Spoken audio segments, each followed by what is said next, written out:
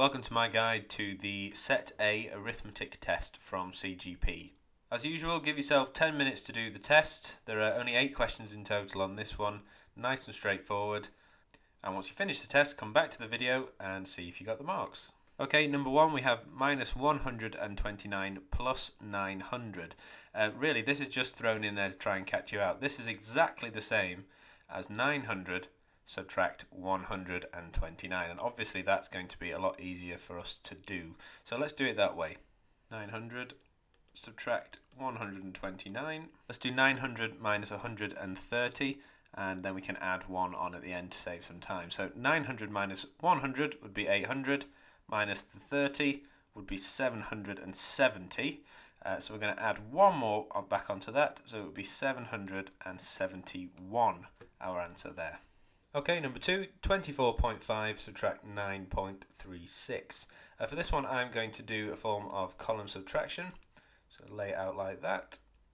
Make sure you get your place value in the right location. And then subtract sign. Right, we have a gap here. So in this case, because we have a gap, we can put the number 0. We start with this number here. 0 subtract 6 we can't do. Uh, so we're going to have to borrow one from this 5 here. Now we can do 10 subtract 6, which is 4. 4 subtract 3, which is 1. We put our decimal point in. 4 take away 9 we can't do, so we're going to borrow from here. 14 subtract 9 is 5. And 1 subtract nothing is 1. So our answer for this one is 15.14.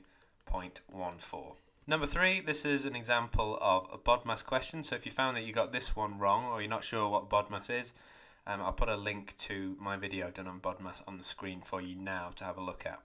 So following our BODMAS rule, we, we know that multiplication needs to be done before subtraction. Uh, so we'll do this bubble here. 20 times 2 is 40.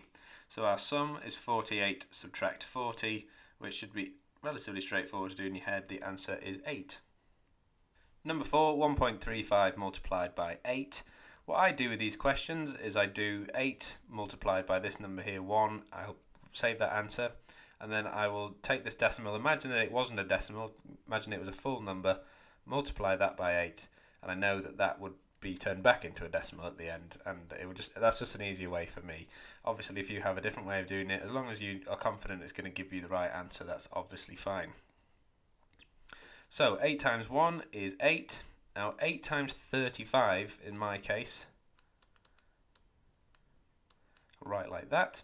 8 times 5 is 40, put the 0, carry the 4. 8 times 3 is 24, plus the 4 is 28. So I will have 280 in this case, but because it was a decimal, I know it's going to be 2.80. So I'm going to add 8 and 2.80 together, which would give me 10.80. 8 as my answer. Number 5, we have another example of BODMAS. We need to remember to do our powers first. So 7 squared is the same as 7 times 7, which equals 49. Plus the 10 is 59. Number 6, 30% of 350. What I always tend to do is find 10%. So to find 10%, we divide by 10. 350 divided by 10 is 35. So that equals 10%. If we want to find 30, we just times this by 3 because 10% times 3 makes 30%. So 35 times by 3, well 30 times 3 is 90, 5 times 3 is 15. We'll add them together, 90 add 15 is 105. Okay, question 7 is just testing your knowledge of long multiplication. So you should know that we start with this number here, the number furthest on the right. 4 times 1 is 4, 4 times 4 is 16. We put the 6, carry the 1. 4 times 3 is 12, plus the 1 is 13.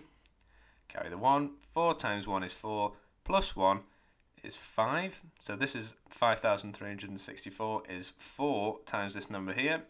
Now we're moving on to the 20 times this number, so we need to put our placeholder. 2 times 1 is 2, 2 times 4 is 8, 2 times 3 is 6, 2 times 1 is 2, and then we add these numbers together. 4 add nothing is 4, 6 add 2 is 8, 3 add 8 is 11, put the 1, carry the 1, 5 add 6 is also 11, add the 1 again is 12, and 1 add 2 is 3. So our answer is 32,184.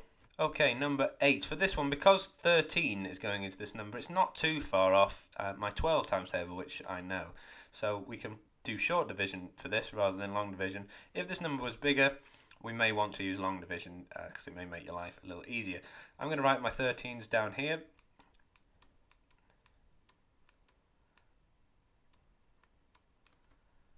I think that's as much as I'll need at the moment, so let's dive right in. We have 13. How many times does 13 go into 4? Is 0. So how many times does 13 go into 40? Well, it goes 1, 2, 3 times with 1 remainder. How many times does 13 go into 15? That's obviously 1. Remainder 2. How many 13s go into 26? We know that's 2, so our answer is 312. I hope you found that video useful. If you did, please give this video a thumbs up and subscribe to my channel if you want to see more videos like this. Uh, that really helps me out and I really do appreciate it. If you have any questions, please leave them in the comment box below. And you'll also find a list of all the books that I find helpful for Year 6 SATs in my description. Thanks very much and I will see you in the next video.